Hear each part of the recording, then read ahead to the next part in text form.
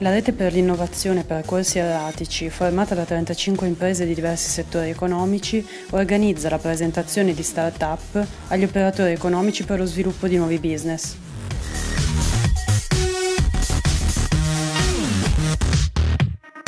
Mm.